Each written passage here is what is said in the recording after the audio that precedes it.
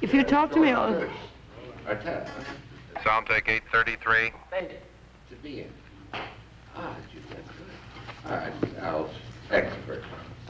you want to, should we see the back?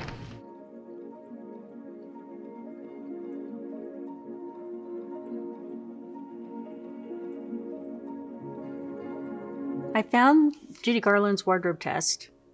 Um, I found it online. I do a lot of costumes for downtown theater, and I was looking for particular kinds of costumes, and I think I was just uh, researching maybe 60s glamour or something. I don't know what I was researching, but I came across this wardrobe test that she had done for Valley of the Dolls, and I was just completely captivated by it. But there was something about this wardrobe test where she's she's so vulnerable and she's so fragile, and it's clear she's trying to be affable and um, trying to be charming, but she's also feels very um, just fragile. Close to the camera, Mark. Yeah, right here. You pardon me, but I do get the giggles.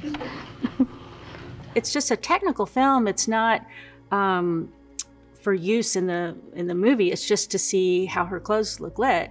And so uh, she doesn't have any lines she's saying. She's not acting per se, but it's clear that she's acting.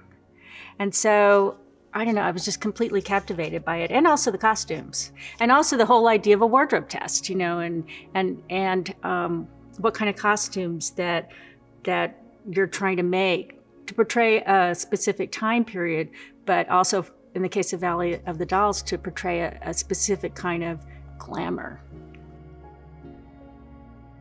I'd known of Suzanne's work. I knew that she was a UT alum and she was someone that we at the Blanton wanted to work with. We were just kind of looking for the right project. And so I was at home in Philadelphia um, over a holiday break and went to the fabric workshop, which was actually my first job out of college, and um, saw Suzanne's show. And I was just mesmerized by Valley. I mean, I, I loved the whole show, um, but Valley, I must have spent about half an hour in the gallery just watching it, you know, on a loop. It's almost five minutes long, so I watched it over and over and over again um, and was just riveted and felt that it was something that our audiences would really respond to. So when I got back to the Blanton after break, I, you know, went to my fellow curators and said, you know, I found it. This is this is the video we need to work with Suzanne on. Well, I, I had a commission from the Fabric Workshop in Philadelphia to do a piece and kind of doing things with fabric, that's their specialty. And so they have a whole crew there that can make things for you. For example, one of the people that worked there, Kate Abercrombie, she, uh, you know, the paisley print that's on the pantsuit and uh, the one the sequined pantsuit, and then there's one that's on the caftan, and you can't buy that anymore. So she had to hand make that. You know, she just uh, drew it by hand, and then they silk screened it on enough yardage so they'd be able to make all the costumes. It's interesting because that pantsuit with all the sequins and everything, um, when she was fired, Judy Garland took all of her costumes with her. And um, apparently the studio was really upset about that. Um, then I read something else that said, "Oh, why would they care? It's not going to fit somebody else." But anyway, one one account I read, they were upset about it. But then she used them in her concerts after that. And if you look at some of her final concerts, she's wearing that pantsuit. And she could still get concert work, but no one would hire her to act anymore. What we have at the Blanton is half of our downstairs special exhibition space, and it's roughly a square. So when you walk in, there will be two projections on each wall kind of surrounding you um, in a square gallery. And I think we wanted to give it you know, its best showing yet. That meant kind of working with the space, you know, the fact that it's not a perfect square. Suzanne and I spent some time in the gallery looking at kind of evening out areas of blank wall, kind of what would create the most impact when you immediately walk into the gallery. What does your eye go to?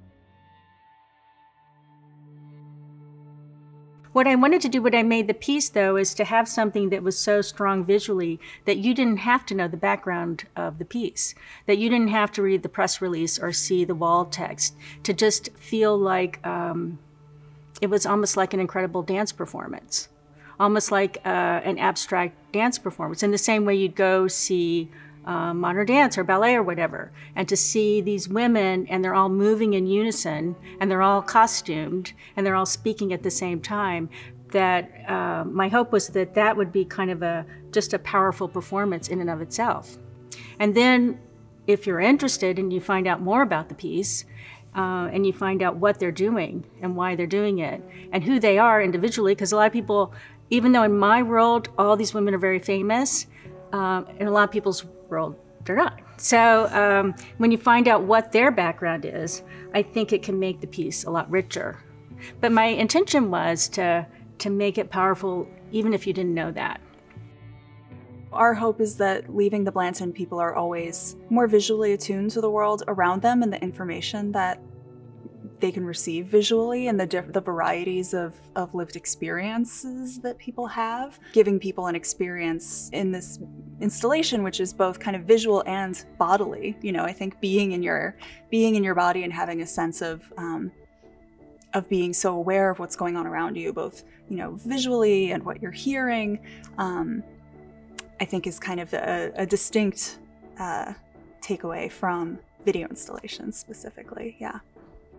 What I love about it is um, is the the power. I think the power of the performances really comes through. Um, someone like Joan Jonas, who in, in my world is is really a giant, um, is is such a compelling performer. You know, and I could just watch her 24 hours a day, or Deborah Hay, who had an exhibition at the Blanton um, several years ago, you know, as a dancer, moves completely differently. And I think what is so mesmerizing for me is kind of noticing the subtle differences between each performance and the way in which um, each performer brings her own kind of bodily and vocal inflections to this recreation, even though they're all working from the same source material, that everyone interprets it differently and through her own personality.